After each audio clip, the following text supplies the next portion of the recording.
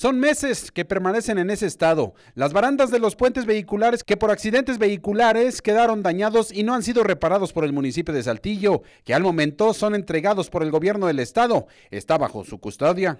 Aquí lo que nosotros estamos tratando de imponer o implantar es que exista un presupuesto para contingencias, porque al momento que se hay el accidente, obviamente que se hace la evaluación y en caja 5 para poder retirar el vehículo, para poder sacarlo, pues se hace el pago correspondiente, pero no entra a un presupuesto exclusivo. Entonces nosotros debemos de tener en presupuesto los de los mantenimientos correspondientes.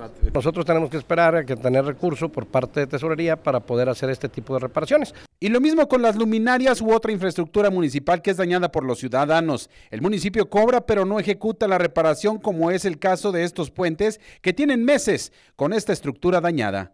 Con la imagen de Marco Gamis para RCG informó Enrique Hurtado.